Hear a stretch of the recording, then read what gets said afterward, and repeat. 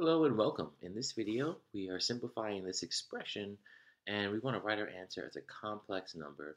And that just means that our answer is going to have two parts, a real part and an imaginary part. So for example, um, let's say that we have a plus bi.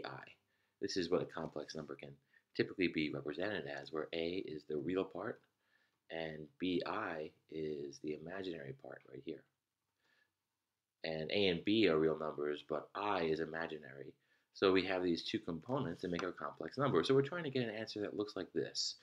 And in this problem right here, I see the 4 minus 3i in the denominator.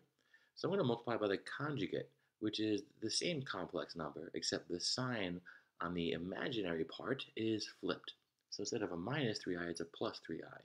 And if I do this, if I multiply both numerator and denominator, by the conjugate. I'm not really changing the value of it because I'm multiplying by 1. And also, I will eliminate the i term in the denominator. So that's typically what we're going to go for here is to eliminate that i term in the denominator. So let's look about how that works. So in the numerator, we'll have 2 times 4, we're going to distribute, that's 8. And then 2 times 3i, which is 6i. i times 4, which is 4i. Put those together, we get 10i. And then i times 3i is positive 3i squared.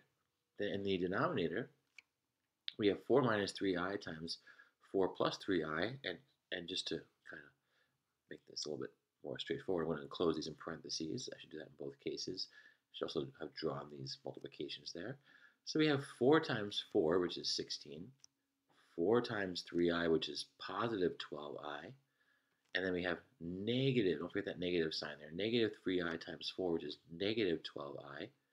And then negative 3i times positive 3i is a negative 9i squared.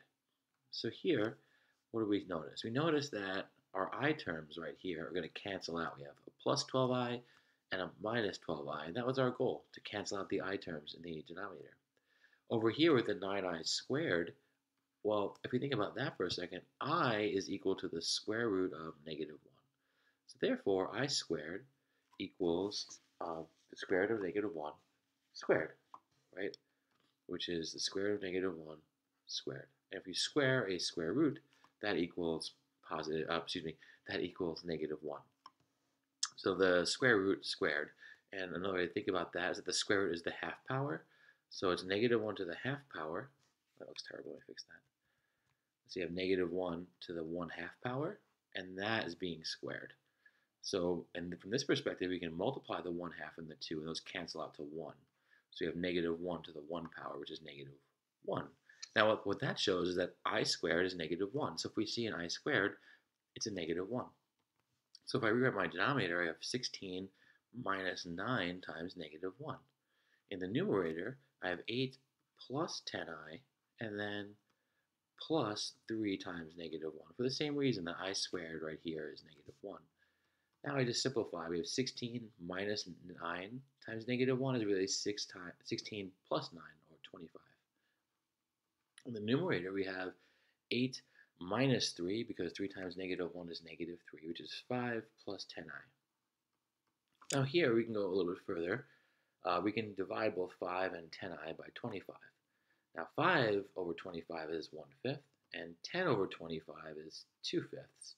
We're adding them, it's, there's a plus sign here, and that's, this term is in terms of i. And we've got our answer as a complex number. All right, hope this helped.